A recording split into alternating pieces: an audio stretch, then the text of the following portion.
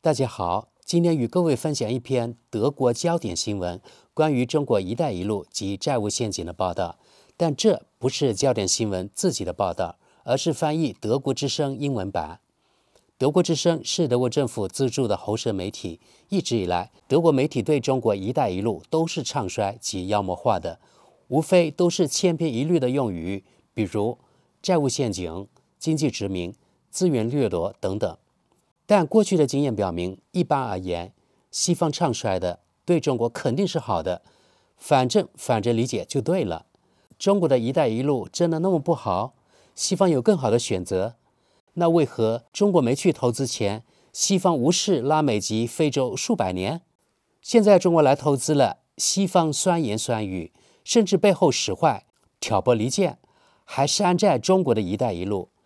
搞出个什么不伦不类的民主版“一带一路”，或者叫全球门户计划，妄图抗衡中国的一带一路呢？西方这么做的目的，绝不是为了拉美及非洲人民的福祉，而是担心全球南方国家现在有更好的选择，那就是中国，担心中国因此获得更大影响力。如果中国的一带一路那么没有前途，西方高兴才对，你们说呢？今天德国焦点新闻的报道有点点意外，标题用了问号。我们来看看吧。新丝绸之路是债务陷阱，中国已借出1.2万亿欧元。在斯里兰卡的汉班托塔国际港口项目出现还贷困难后，中国将其租借了99年。中国已向全球基础设施项目贷款超过1万亿欧元。然而，越来越多的债务国拖欠债务。部分原因是，并非所有投资都有利可图，这增加了偿还贷款的难度。中国的新丝绸之路被广泛视为习近平主席外交政策的核心内容。作为该倡议的一部分，中国正在全球推动和建设约两万一千个基础设施项目。人们经常将其与马歇尔计划相提并论。二战后，通过马歇尔计划，美国帮助西欧民主国家进行重建。一份最新报告显示，中国已发放总计1.2万亿欧元，约等于1.3万亿美元的贷款，用于资助中低收入国家的桥梁、港口和高速公路建设。新丝绸之路倡议的正式名称是“一带一路”，旨在强调经济互联互通。但令华盛顿和布鲁塞尔懊恼的是，它极大地提升了北京在世界上的地缘政治影响力。新丝绸之路是债务陷阱吗？然而，除了中国之外，谁能从中受益却值得怀疑。批评者认为，这些贷款正在使发展中国家陷入债务陷阱，包括菲律宾在内的一些国家已经退出了该项目。还有人批评中国主要将基础设施项目让中国国有企业来做，因此伙伴国面临着不透明的建设成本和有限的谈判空间。而且，虽然中国希望在新项目上再做大手笔投资，但许多借款国还债的日子即将到来。美国研究机构 Eight Data 在最近的一份报告中估计，中国已在全球积累了约1.1万亿美元（约1万亿欧元）的债务，这还不包括利息。其中，百分之八十的贷款提供给了陷入财政困境的国家。报告指出，逾期未还的贷款数量。最近迅速上升。报告称，有一千六百九十三个项目岌岌可危，九十四个项目已被取消或暂停。救助贷款，避免拖欠还款。根据 Aid Data 的计算，一半以上的丝绸之路贷款现已进入还贷阶段，即需要偿还原始贷款额。此外，还有支付利息等贷款成本。所有这些都是在全球主要利率大幅上升的情况下发生的，给债务国带来了更大的负担。虽然中国本身尚未再次提高基准利率，但在某些情况下，中国已将预期还款的利率几乎提高了两倍，从百分之三提高到百分之八点七。作为一种惩罚，两千年代初，中国开始向发展中国家发放贷款时，甚至没有为五分之一的贷款提供违约担保。如今，中国几乎为三分之二的项目提供了担保。根据世界银行的一份报告，中国已经花费了数千亿美元的救助贷款，以挽救债务国免于破产。Age Data 认为，这是中国的一项新战略，目的是保护自己不成为其他国家政府和中央银行财政不稳定的受害者。美国和欧洲拿什么来抗衡中国？根据 AidData 的数据，中国每年花费约八百亿美元，约七百三十亿欧元，向国民总收入中低的国家提供贷款。华盛顿每年提供约六百亿美元，约合五百五十亿欧元的发展贷款，主要用于私营公司经营的项目。其中一个例子是斯里兰卡首都科伦坡的深水港建设项目，该项目已于本月初宣布，预计耗资约五亿美元。这个印度洋上的岛国深陷经济及金融危机，正努力摆脱困境。其中一个原因是他欠了中国的债。作为新丝绸之路的一部分。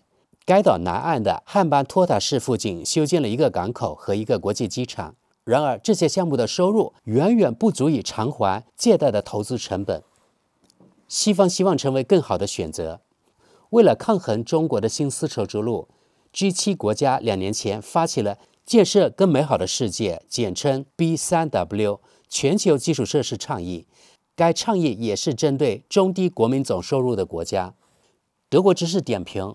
哇，什么时候 G7 国家那么圣母了？那么关心中低国家人民疾苦了？我们继续往下。十月底，欧盟还举行了首次全球门户峰会。通过这一计划，欧盟旨在保持其在全球南方国家的影响力。在这次会议中，欧盟与欧洲、亚洲和非洲各国政府签署了价值七百亿欧元（约合七百六十亿美元）的合同。欧盟提供的支持。最终可达三千亿欧元，将用于涉及重要原材料、可再生能源和运输路线的项目。欧盟委员会主席冯德莱恩认为，这将为发展中国家的基础设施项目融资提供更好的选择。他没有点中国的名，但表示其他选择往往要付出高昂的代价。二零二一年，七国集团向发展中国家提供的资金比中国多出约八百四十亿美元。然而，Aid Data 报告假定，从长远来看，美国及其盟国将无法提供与中国同等数额的发展贷款。分析人士甚至认为，中国即将与美国展开竞争。不过，他们也看到了另一个机会：许多丝绸之路项目的失败，可能会让一些国家重新回到西方的势力范围内，类似于斯里兰卡的例子。好了，朋友们，报道就到这里，我们接着看读者评论。第一条评论：任何人借钱，至少有机会收回一部分。众所周知，我们德国更喜欢大规模的大撒币。下一条评论：德国花在战争、发展援助、移民方面的钱也远远超过八百亿欧元。德国比中国小一点儿，但这些也取之于德国人。虽然也没有什么利息，但许多政客却感觉良好。下一条评论。我们德国也这样做。我想他给欧盟的钱超过了一点二万亿欧元。他可能有一个显赫的名称叫“目标二”，但我们再也看不到这笔钱了。也许俄罗斯的出口量并不大，但他们能拿到现金。任何经营过企业的人都知道，决定性的因素不是资产负债表上应收款项下的金额及目标二，而是其中有多少最终作为银行账号上的实际现金及流动性。目前，我们可能有来自目标二的1.2万亿美元的应收账款。意大利、法国和西班牙等国的情况都很好。我们不需要每年增加税收或费用，只需收取这一点二万亿元，并将它转换成现金即可。下一条评论：正如你所说，我们永远也拿不回目标二的钱，而且如果我们以贷款的形式提供资金。那么我们就已经做好了日后或至少部分减免他们。中国要聪明得多，他们会说你们需要什么道路、机场等等，然后让我们把原材料给他们。因此，一点二万亿美元的说法只是字面上的，因为这些债务往往有实物相应对。中国比我们更聪明。非洲国家对中国的尊重与比如说德国金驴完全不同，他们飞过来拍个照。挥挥手就走了，根本不懂如何运作。下一条评论，我想请一两个中国问题专家给我解释下。也就是说，中国是一个技术高度发达的国家，每三天就向太空发射一颗卫星，生产的手机、电动汽车和消费电子产品淹没欧洲市场。他的军队武装的速度比用爆米花机制造爆米花还要快。这样的国家怎么能叫发展中国家呢？德国给他提供了数亿甚至数十亿欧元的发展援助。这样一个穷国，怎么能向全世界撒一点二万亿美元的币呢？亲爱的专家们，请给我指点迷津。下一条评论：中国有贸易顺差，因为美国不想卖给中国需要的东西。这样的话，美元一文不值，必须投资于更有价值的东西。尽管如此，中国人的收入仍然相当低。下一条评论。中国不再接收德国的任何发展援助。如果说还有资金流动，那也是投资援助，以便德国公司在中国能站稳脚跟。下一条评论，这位网友就报道中的这句话发表自己的看法：菲律宾已经退出“一带一路”项目。他是这么评论的：只有菲律宾退出，美国目前用它来对抗一个中国，包括台湾，这是他们的优先事项。美国没有从乌克兰那里吸取教训。下一条评论：中国对其债务人的扼杀逐渐为人所知。中国和丝绸之路始终有一个经济后门。德国人的知识视野并没有中国人延伸得那么远，就像丝绸之路是由捐赠意愿共同资助的一样。这是一场经济战争，欧洲人根本无力反对。德国只是一个跳上气候保护列车的旁观者，仅此而已。表象背后的音乐才是基调所在。德国在意识形态和经济上都是聋子，这是病人的症状。至于用手势语能否帮上忙，那就不大可能了。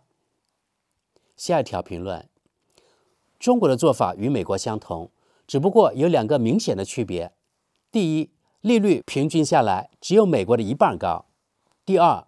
中国帮那些国家建设他们需要的基础设施，而不是美国想要的，如卖武器。下一条评论：在经济上，中国人领先一步，而德国人的气候目标所起的作用微不足道。意向宣誓只是理论，现实却是另一回事。下一条评论：所有参与发展中国家发展援助工作的国际组织都称赞中国的努力。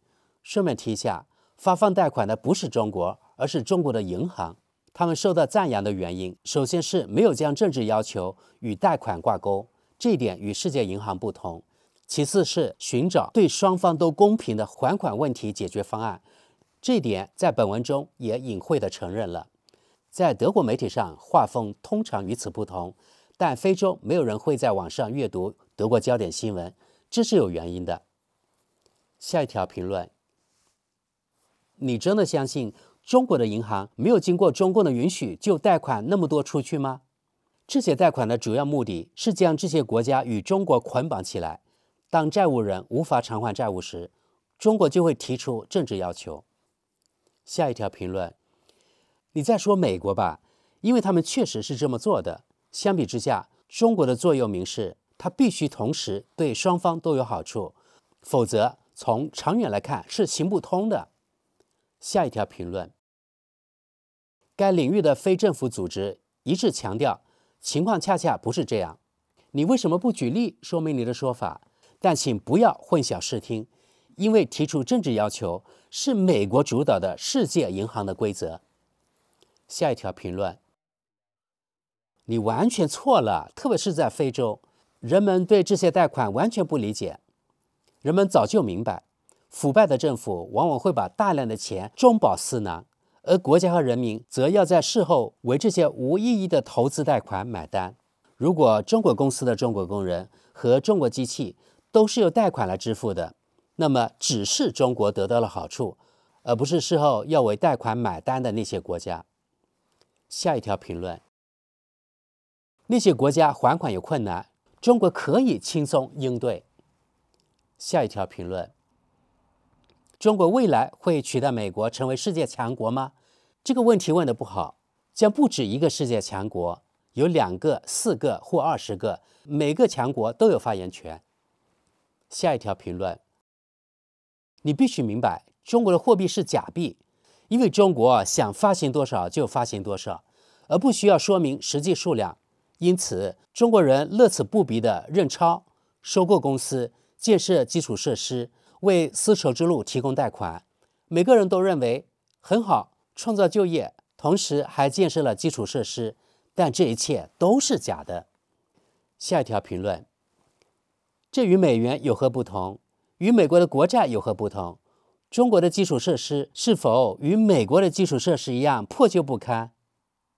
下一条评论：这些金融依赖性正是中国希望通过发放贷款来实现的目标。大约十年前，我在埃塞俄比亚首都亚的斯亚贝巴突然出现了新的道路建设。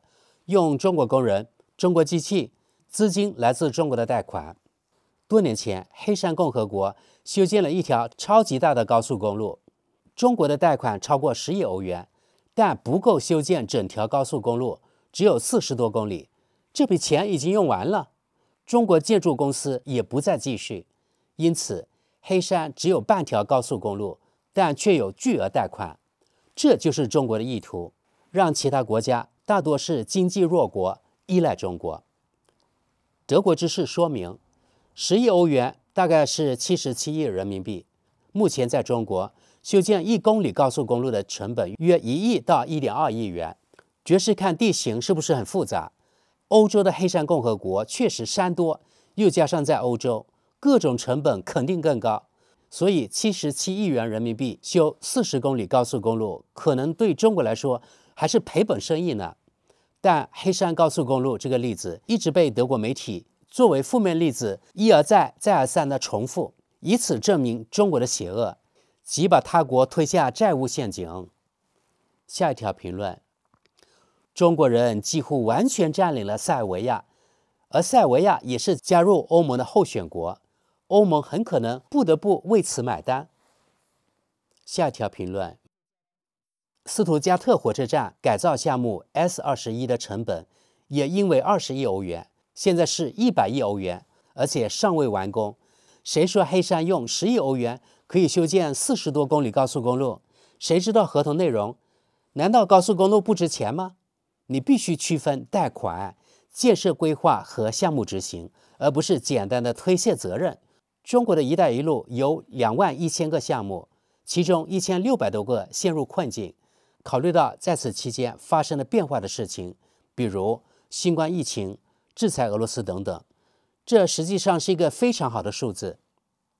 下一条评论：这是中国人的算计，无力偿还贷款的国家只需要用基础设施来支付，这是另一种占领别国的方式。下一条评论：到底想要表达什么呢？两万一千个项目中有。一千六百个项目，即百分之零点八的项目有问题。当然，接受贷，当然接受贷款的国家，当然接受贷款的国家已经获得了基础设施。但批评者是否也考虑到，由于新冠疫情与规划相比，其他国家的条件，比如说斯里兰卡和国家名称也发生了变化。美国融资的桥梁和港口比中国融资的桥梁和港口好在哪里？菲律宾退出新丝绸之路，是因为美国的压力吧？毕竟他们现在有了新总统。德国之事说明，应该是百分之八，而不是百分之零点八。这个人的算术与我的差不多。下一条评论，没关系，中国人也接受实物，比如采矿许可证或港口、公路和铁路线的使用权，这样就可以还债了。下一条评论：中国的辉煌计划让各国负债累累，然后接管其国家资产。他不需要一颗子弹就能获得对其他国家的控制权。好了，各位朋友，翻译德国焦点新闻关于中国“一带一路”及所谓债务陷阱的报道及读者评论就到这里。